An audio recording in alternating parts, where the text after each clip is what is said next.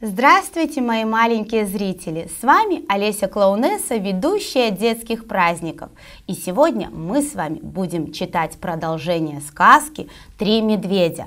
Слушайте внимательно. А медведи пришли домой голодные-голодные и захотели обедать. Большой медведь взял чашку, взглянул и заревел страшным голосом. «Кто хлебал в моей чашке?» Настасья Петровна посмотрела в свою чашку и зарычала не так громко. «А кто хлебал в моей чашке?» А Мишутка увидел свою пустую чашечку и запищал тоненьким голоском.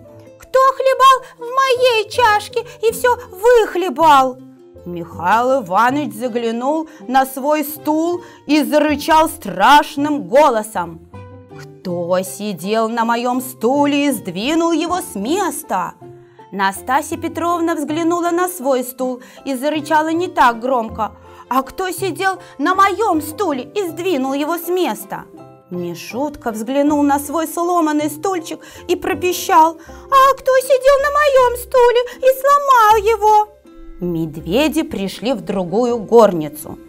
«Кто ложился в мою постель и смял ее?» – заревел Михаил Иванович страшным голосом. «А кто ложился в мою постель и смял ее?» – заречала Настасья Петровна не так громко. А Мишутка подставил скамеечку, полез в свою кроватку и запищал тонким голоском. «А кто ложился в мою постель?»